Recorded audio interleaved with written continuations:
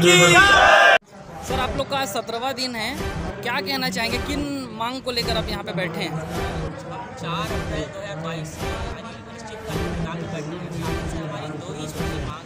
पहला शासन ने अपने घोषणा पत्र में यानी सरकार बदलेगी पूर्व कांग्रेस सरकार ने घोषणा पत्र में कहा था कि सही सभी संविदा कर्मचारियों को नियमित करेगा। बस हमारी जो दो सूत्री मांग है उसमें पहली मांग तो यही है कि चुनावी घोषणा पत्र में आत्मा किया गया था कि मनरेगा कर्मियों को नियमितकरण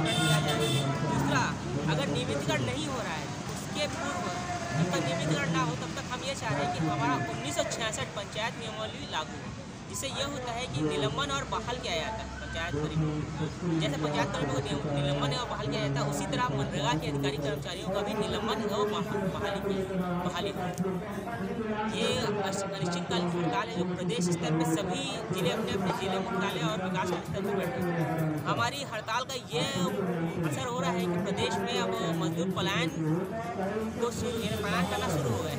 श्रमिकों को जो गर्मियों में काम जो मिलता था वो नहीं मिल जा रहा है लेकिन प्रदेश के सभी ज़िले अपने अपने उसमें अनिश्चितकालीन हड़ताल में बैठे हैं और वहाँ लेबर जो श्रमिक चलते थे अब वो शून्य चल रहा है। कहीं से भी श्रमिकों को काम नहीं मिल पा रहा है। तो सरकार की तरफ़ से अभी तक कोई प्रतिनिधि मंडल आप लोगों से मिलने आया? तो कोई प्रतिक्रिया नहीं है सरकार शासन की तरफ़ से। हम आग्रह करना चाहते हैं शासन से कि जल्दी जल्द हमारे मांगों पर विचार करें और कुछ ना कुछ हम कर्मचारियों को मनरेगा कर्मचारियों को बाकी धरने प्रदर्शन की तरह आप लोग ध्यान आकर्षण के लिए किस किस माध्यम से यहाँ पे हड़ताल कर रहे हैं?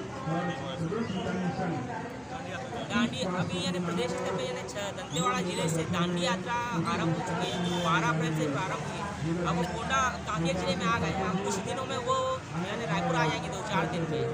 तो एक हज़ार के करीब संभावना, एक हज़ार से अधिक की संभावना हो सकती है सभी कर्मचारियों की। उसके बाद हम यानी यहाँ संयुक्त रूप से हड़ताल करेंगे, प्रदेश स्तर का धरना प्रदर्शन होगा।